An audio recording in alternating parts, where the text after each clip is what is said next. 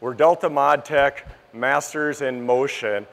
Motion is what controls our machines. More specifically, it's the servo motors that make the motion on all of our nips, our dies, and our spindles. Delta has been using servos since the early 1980s, and in 2002 we switched to digital drive servos from the analog systems, and one of the big advantages of that was just consistency. In 2007, we converted to a complete digital system. It just allowed for synchronization of a lot larger systems. In 2009, we switched to the next generation of digital drives. This was a Sigma 5 control. So now we basically gained almost tenfold down to a, a roughly a tenth of a micron of accuracy. Currently, we're in the process of switching over to the Sigma 7 drives, and pretty much all newer machines will be implementing the Sigma 7 controls. And now we're getting electronic accuracies down into submicrons. So what does that mean for you with the greater accuracy? Well, of course, that's going to help with die cutting and registration.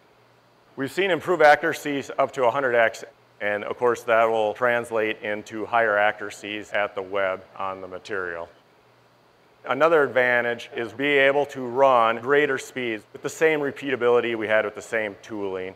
So with the newer controls, you should be able to get higher throughput out of the same piece of machinery. We've also seen improvement with camming, and one of the main things is island placement and P-camming. So you get a lot cleaner transfer, and it allows for greater speed and accuracy. Probably one of the biggest improvements in the last six months, we actually created some new algorithms to help with tension control. And we are now able to get stable tensions down to half a pound. And to finish with closing the loop, beyond all the accuracies, we've also used Cognex vision systems. We are using the feedback from all that information and doing some averaging to make them even more accurate.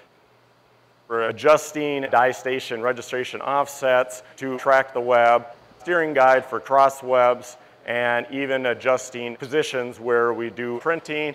We can actually adjust both X and Y on a laser system by feeding back information from a vision system. Delta is committed to always trying to be a leader in uh, controls and in technology. Whatever that future may bring, we're, we're always going to try and accommodate that.